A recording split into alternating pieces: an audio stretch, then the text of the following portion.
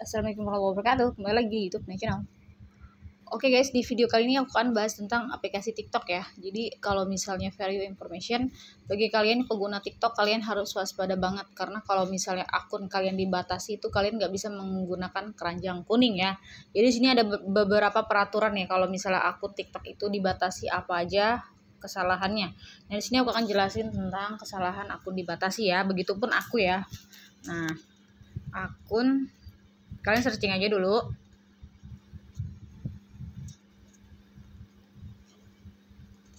TikTok dibatasi. Apa penyebabnya ya?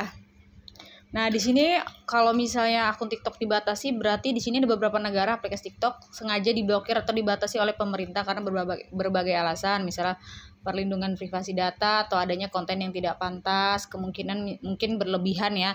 Tapi setahu ini sih biasanya kalau aku tuh kan menggunakan kata-kata yang biasa ya, tapi ada beberapa juga mungkin yang agak sensitif ya. Jadi TikTok itu akan lebih memperketat ya. Jadi kemungkinan ada kata-kata yang mungkin uh, tidak relevan atau gimana jadi akunnya dibatasi ya. Aku pun juga mengalaminya. Jadi ada beberapa misalnya akun uh, yang dibatasi jadi kenapa akun dibatasi ya? Membuat akun baru setelah akun anda di, uh, itu dibatasi itu cuman nggak bisa memunculkan keranjang kuning ya tapi nggak diblokir. Cuman keranjang kuningnya itu ditutup dulu gitu selama seminggu gitu. Nah justru kalau misalnya selama seminggu kalau kita udah menggunakan sampel atau dapat sampel gratis kolaborasi sementara kita kan itu mengerjakan tugas dari seller ya. Jadi di situ kalau misalnya lebih dari sebu se minggu gitu takutnya kita nggak bisa mengerjakan sampel gratis. Nah gitu. Aku dak dikduk banget ya. Ini aku kalian bisa lihat aja di tiktok aku ya. Nah di sini kalian bisa follow ya. Ini memang nggak diblokir cuman dibatasi aja selama seminggu gitu. Kayak ada warning kayak peringatan gitu. Bisa ajukan banding atau segala macam gitu. Bisa gitu. Ini di sini akun TikTok aku kalian bisa follow ini jualan aku ya. Nah, di sini kan aku jualan nih. Biasanya kan di sini kan ada tuh kayak ini kan sendal nih. Nah, guys, aku rekomendasiin kalian sendal. Nah, ini kan ada beberapa sendal. Sendal itu kan ada beberapa keranjang kuning ya. Kalau misalnya akun aku dibatasi untuk jualan, keranjang kuningnya itu nggak bisa diklik untuk sementara waktu, tapi dia akan pulih lagi setelah udah selesai di akun dibatasinya selesai. Nah, di sini agak agak ada uh, akun dibatasi akses akun Anda menjual produk di etalase dibatasi hingga 24 Agustus jam 8 malam. Jadi akun aku dibatasi sampai 24 berarti dua hari lagi ini akunnya keranjang kuningnya terbuka kembali. Itu aku nggak tahu ada beberapa faktor mungkin karena eh, kata-kata uh, yang nggak relevan atau apa itu dibatasi ya. Tapi sementara aku tuh panik banget guys. Karena kan aku mengajukan sampel dari seller atau kolaborasi ya produk-produk gratisan. Jadi aku tuh harus ngerjain tugas. Nah sementara tugas affiliate ya contohnya. Contohnya itu udah nyampe dari beberapa hari contohnya kerupuk kulit satu bal ya. Aku dapat kerupuk kulit satu bal. Nah aku kan ngerjain PR tuh sampai batas waktu yang ditentukan. Contohnya nih kelola sampel ya Nah, di sini kalau sampel tadi kan 2 sampai 24 Agustus ya. Nah, di sini untung aja masih sekitar tiga hari tersisa aku harus posting sampel yang dikirim seller itu yang eh, kerupuk drok dok ya. Itu satu bal ya. Kan aku dapat satu bal. Nah di sini untung masih ada sisa sekitar uh, eh, 14 hari itu ini kan uh, dibatasi seminggu. Nah, ini masih ada sisa tiga hari lagi. Jadi kemungkinan aku bisa posting akun aku dibuka di tanggal 24 sementara aku sampai batas promosi di tanggal 25 Agustus. Jadi masih aman sih menurut aku.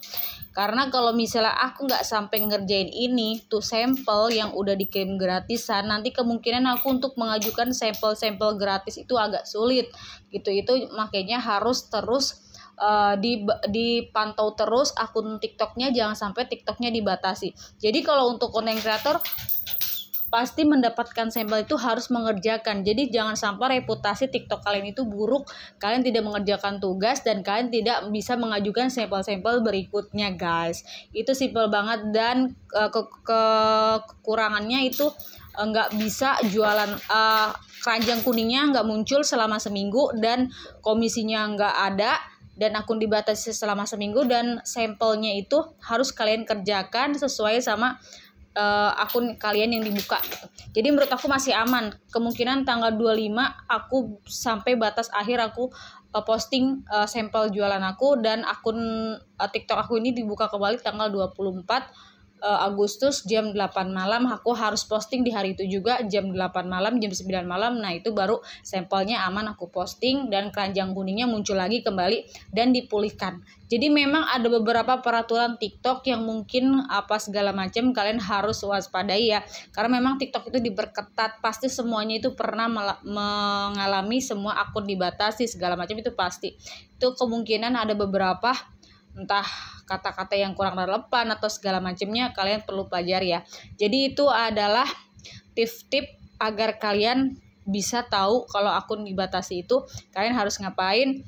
Nah, di sini kalian bisa juga baca-baca peraturan agar uh, akun kalian itu aman dari pelanggaran, nggak diblokir. Kalau dibatasi itu masih bisa ajukan banding ya, ajukan banding bisa dan itu akan uh, bisa kebuka kembali. Ini tuh akun aku nggak diblokir, cuman keranjang kuningnya aja nggak muncul.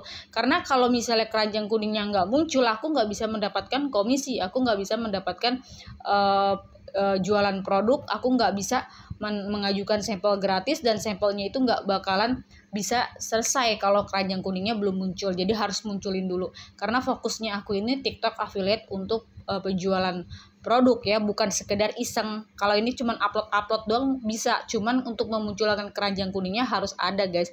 Jadi harus pulih dulu dan akun dibatasinya itu harus setidaknya aman untuk mengajukan sampel-sampel berikutnya. Oke guys semoga apa yang aku sampaikan bermanfaat untuk kalian. See you bye bye